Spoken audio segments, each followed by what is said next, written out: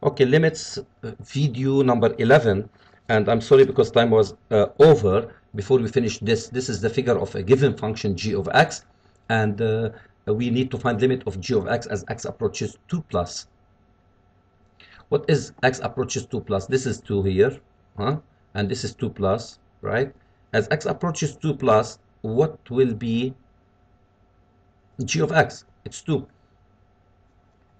And limit of g of x as x approaches to minus as x approaches to minus. 2 minus means below 2 right?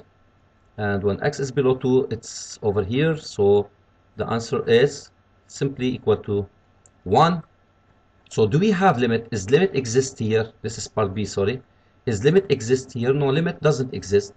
And what do we have? What time since limit does not exist because from the right doesn't equal to from the left.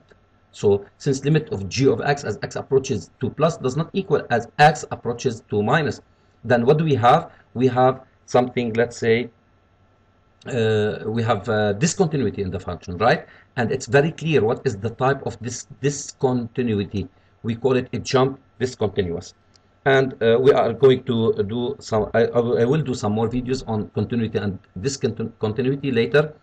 Uh, uh, I, I, will not go through details this time. Okay? Part c limit of g of x as x approaches as x approaches 0 minus 0 minus this is 0 right? 0 minus so it's here. If abscissa is 0 then what will be the y right? What will be the y? It's minus 1 d the limit of g of x as x approaches 0 plus is equal to what? As x approaches 0 plus right? If x is equal to 0 the same. Y is equal to minus 1 here we don't have any hole point right? Hollow point. And we don't have any uh, uh, jump or uh, or removable discont discontinuity. So I, uh, I got the same answer minus 1 so and the function is continuous. This is not our uh, he he wants me just to uh, find those answers and I did find them. Continuity discontinuity I will do it uh, another time.